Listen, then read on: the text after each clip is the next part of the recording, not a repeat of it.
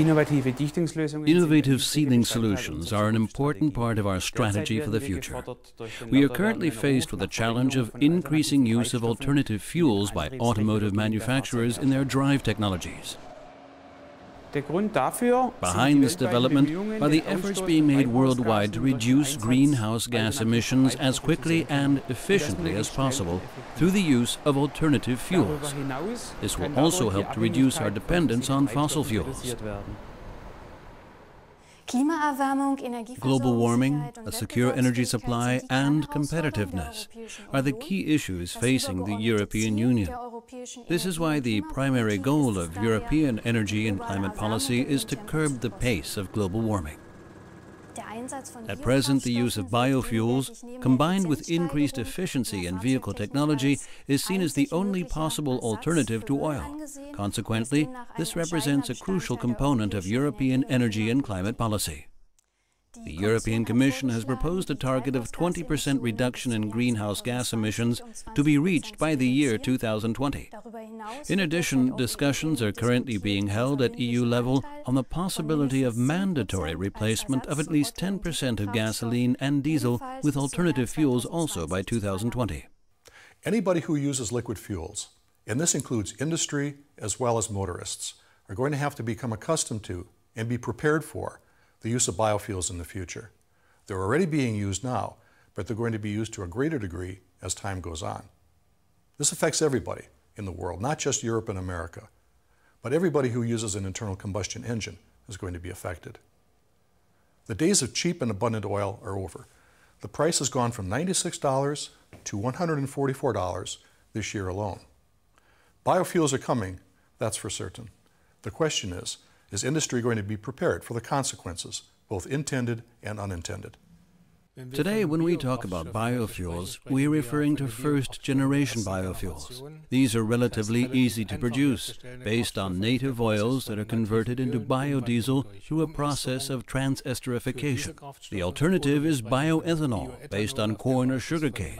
It is produced for use as a gasoline additive. It is used as an additive rather than a pure fuel for two reasons. Firstly, because its energy density is relatively low, and secondly, because first generation biodiesels cannot be produced in sufficient quantities to be used as the sole form of fuel. Besides this, the aging processes associated with biodiesel have a considerable impact on the vehicle seals. Oxidation produces acids that can chemically attack the seal materials. That is why it is important to choose the right material for a specific application. To make the selection easier, we have developed a traffic light system.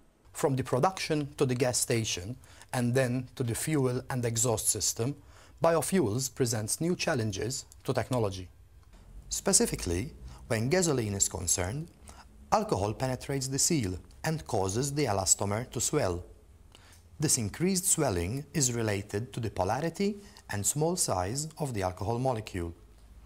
As the swelling increases, the mechanical properties of the seal decrease. On the global scene, an important issue in terms of environmental protection and dependency on fossil fuel is the increased use of renewable fuels. For example, China is planning for its rapidly expanding transportation fleet a massive share of biofuels. In South America, large quantities of biofuels are made from sugarcane. For this reason, in Brazil, 75% of all newly registered vehicles are flex fuel models that burn E85, which is widely available there. In North America, ethanol is currently made from maize. Second generation refineries, some already under construction, will make ethanol from cellulosic feedstocks such as wood. When we talk about second generation biofuels, we generally mean designer fuels or synthetic fuels, produced by a fully synthetic process. These are based on lignocellulose, which is the main component of the biomass. This means that there is potential for producing very large quantities per hectare of synthetic fuels. At the same time, there is a very high potential for reducing CO2. As a result, we have an energy self-sufficient production process and a premium quality fuel. The second generation biofuels, for example lignocellulosic ethanol, will have similar effects on the elastomer. Elastomers suitable for biofuels must be particularly stable with regards to the aging of the fuel to avoid failure in the field. For this reason, we are working closely with the fuel manufacturers, our suppliers, and the automotive industry. Depending on the blend ratio with the fossil fuels, elastomers will display varying levels of resistance. For example, when gasoline is added to ethanol, a blend ratio of 25% ethanol places the toughest demands on the elastomer. In some respects, the physical and chemical properties of biofuels create new conditions and significantly more demanding applications in the field of engine technology. Here, it is our mission to find innovative solutions. Beside the chemical properties of the fuels, the conditions that seals are subjected to in fuel systems are becoming tougher and tougher. This is because fuel pressures are becoming higher in order to achieve more efficient combustion. From the inlet of the fuel tank to the injection valve, the fuel comes into contact with a wide range of pipes and systems, and the seals need to work faultlessly throughout. Additionally, blow-by effects can impair the physical properties of engine oil. Here at Trelleborg Sealing Solutions, we have a specific procedure in place for rating materials according to their suitability for use with biofuels. This procedure is called the traffic light matrix, and it describes the criteria we use when we test materials. There are five criteria in all hardness, tensile strength, ultimate elongation, change in weight, and change in volume. So, how does our traffic light system work? If a red light is displayed, that means the material does not meet the criteria for the application.